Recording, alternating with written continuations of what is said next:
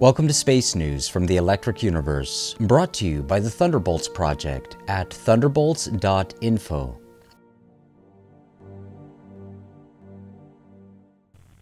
Welcome to Space News. This is Andy Hall, and over the course of the past year, I've been presenting a multi part series called Eye of the Storm. In Chapter 5, we looked at coronal storms.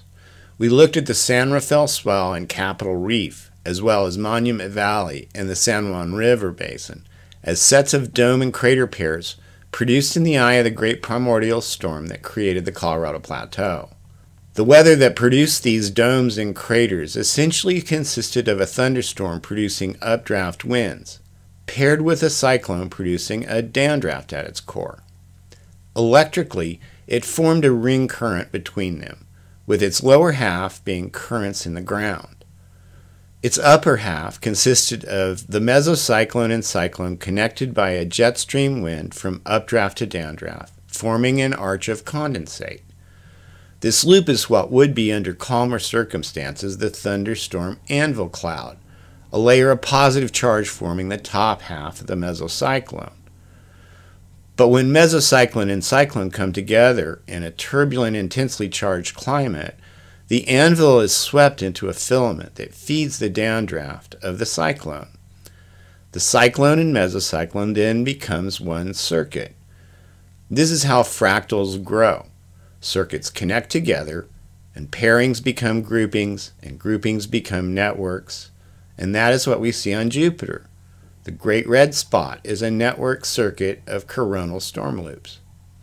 We also looked at direct visual evidence of coronal loops on Jupiter, and they happen to be in almost the exact same pattern in the Great Red Spot as the dome and crater pairs on the Colorado Plateau, because the storm systems are fractal and driven by similar circuitry. Also, like the ground current loops discussed in Chapter 9, these ring currents had DC input from lightning and plasma winds and current junctions with ground, so they could act as op amps, using the DC current to amplify the ring current. That realization was a pretty good egg, but it gets better. The big Easter egg was finding this type of storm system depicted in ancient art. In fact, it's depicted on the oldest, most controversial, and mysterious megalith ever discovered, the Vulture Stone at Göbekli Tepe. The stone T pillar depicts arched clouds across the sky or upper portion of the pillar. Yes, the mysterious handbag of the gods. And this is just my theory, of course, but the handbag depicts the box like shape of mesocyclones seen at a distance, with the arch receding from center to behind, where it downdrafts into an unseen cyclone. A distant viewer would only see a squall line of thunderstorms surrounding the cyclone, with instead of an anvil cloud, the jet stream to the cyclone arching away, just as it's depicted on the pillars. Note the odd figures above the clouds. I believe these represent the type of thunderstorm discharge we call sprites and gnomes. In a coronal storm, plasma discharges from the cloud tops would not be as rare as they are today, and not that they are all that rare today, but in this past environment, they would have been lit up like Christmas. Above and below the clouds is space patterned in triangles, cut across by a thin layer of rectangles. This represents the triangular pattern of rarefaction and compression in supersonic winds, the narrow layer being a faster jet stream or lenticular layer between conflicting winds, with interference patterns making the box like segregations. The vulture or thunderbird is a stylized representation of the Peratt instability, also known as squatter man, which in rock art is often depicted with a bird's head. It would have presaged the storm, appearing in the sky as an aurora bringing the portent of doom to come. The legless birds also depict aurora that are fractal repetitions, at least in partial image, of the central plasma column. Below the birds in the base of the T are depictions of a wolf representing the howling wind, a salamander representing the tidal floods, and a scorpion meaning ground to ground discharge, depicted as a dragon in other myths. Arrow-headed snakes appear here and there, representing lightning or currents. The T-pillar itself represents earth and heavens, as above, so below. A popular theory about this stone is that it actually depicts a comet or meteor strike, and that's because the bird is holding a ball. Go figure. I like my interpretation better. Göbekli Tepe is dated earlier than 9000 BC, or the time of the Younger Dryas. It's also when Plato said Atlantis disappeared, and it correlates well, all things considered, with the time we recall as Noah's flood, or Gilgamesh, if you prefer. So, was this a shrine made by survivors, or did it have utility in surviving the storms? They must have hid underground to survive, for even if they were in a region of calmer winds, radiation, lightning, and fouled water would have surely killed them if they were unprotected. The implication is clear, however. At Göbekli Tepe, as in every ancient myth, there was an electrical storm the likes of which do not appear today, caused by some solar system event. Now, the final Easter egg. These handbags are depicted all over the world in ancient stonework. The earliest known depictions are in petroglyphs that can't all be dated but are believed to be from before 9000 BC. The following is an example from Australia. If you read this petroglyph right to left like a storyboard, it first shows a small coronal storm on the right, the rightmost handbag, apparently forming. Next to it is a larger one above streamers rising from the ground. These would be plasma streamers like what forms in a lightning connection, only visible in glow mode. Next, the cloud forms something below, while something else rises to meet it. They look like hoops or semicircles. These would be plasma clouds, reaching to meet, also visible in glow mode. And then there's some kind of squiggly figure, after which the clouds appear again. Never mind the kangaroo. The squiggly figure is the plasma afterglow of a supersized lightning bolt. What I believe this depicts is the cloud, the entire mesocyclone of a thunderstorm, collapsed in a Z pinch and then reforming. That would be like a hydrogen bomb going off. But I'm pretty sure that's what we're seeing. I wonder if there isn't a large crater a few miles in front of this rock. The entire colloquy is represented in stylized form in the Anunnaki figures in ancient Sumeria. The handbag and the vine of pomegranate that looks like the Australian squiggly figure. They're often holding pine cones, and that's, I think, represents the supersonic winds thrusting forward at the head of the storm and the fractal pattern of rarefaction and compression they would display.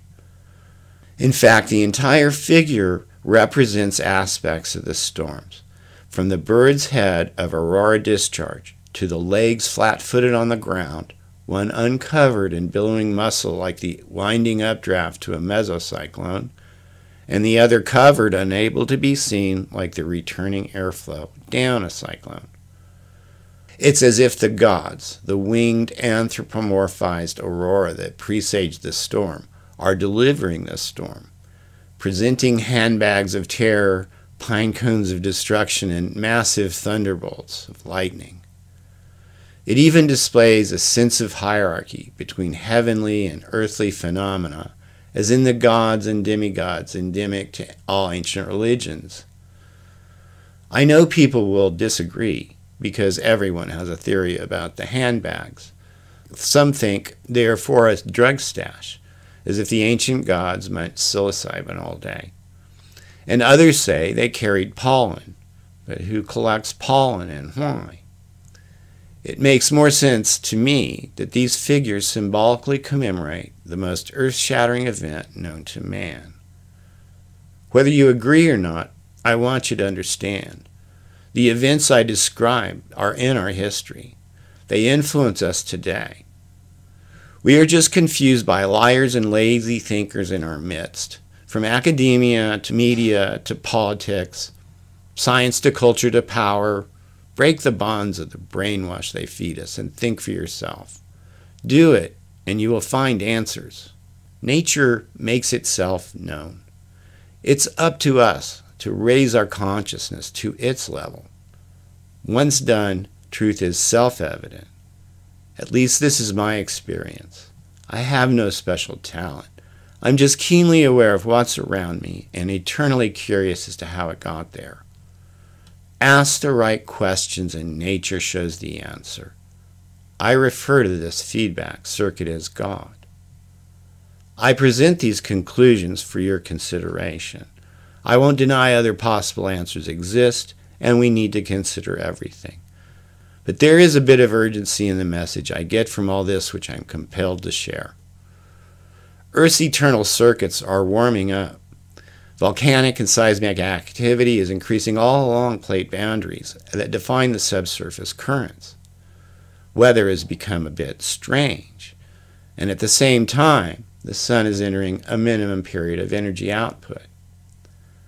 Solar minimums have direct correlation with colder weather on Earth, but also higher seismic activity. The Earth has to respond to the change in solar energy by releasing some of its stored energy in order to maintain its balance. A reduction in solar wind means a reduction in energy induced by Earth's magnetic field. With less input energy, internal circuits wane and the magnetic field weakens and expands. But as the magnetic field expands, it captures more solar wind, creating an, an increased induction. This tug of war plays out as Earth tries to keep pace with the Sun, but it oscillates Earth's circuitry as currents ebb and flow, creating resistance and heat that has to release. This happens in the transient phases, shifting from maximum to minimum and vice versa.